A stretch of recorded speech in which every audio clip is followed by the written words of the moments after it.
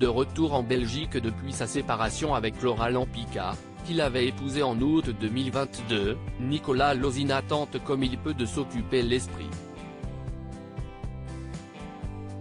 Toujours fourmillant de projets, celui qui se fait appeler le Lord nourrit aussi une passion pour le poker.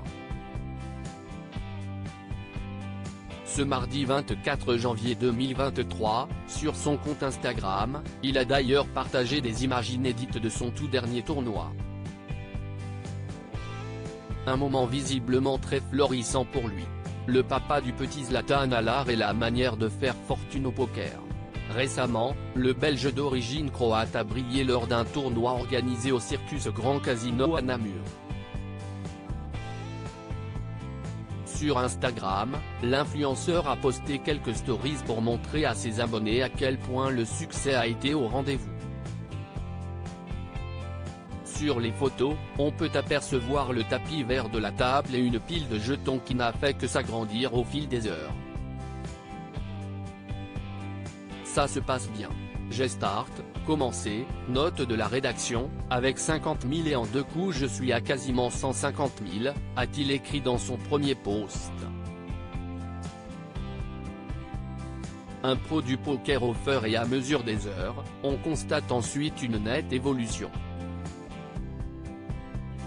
La star du reste du monde fait visiblement un tabac et semble tout rafler sur son passage. Toujours dans ses stories, le jeune papa étale ses victoires avec fierté. Gros coup gagné. Plus de 230 000 actuellement, s'enthousiasme-t-il avant de faire monter le pactole à 450 000 et d'avoir une petite pensée pour son fils, resté aux côtés de sa maman, Laura Lampica?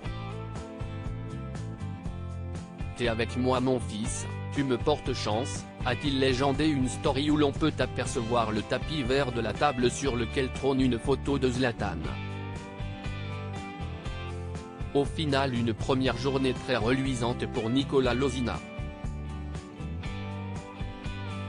Fin du day 1. Je finis avec 317 000 alors que j'avais commencé avec 50 000. La moyenne est à 27 000. Je suis très fier de moi. Direction le Day 2, samedi, a-t-il écrit dans son dernier post. Depuis, le Grand Brun n'a pas reparlé du tournoi. Il semble qu'il s'apprête à retourner à Dubaï d'ici peu. L'endroit parfait pour dépenser ses gains.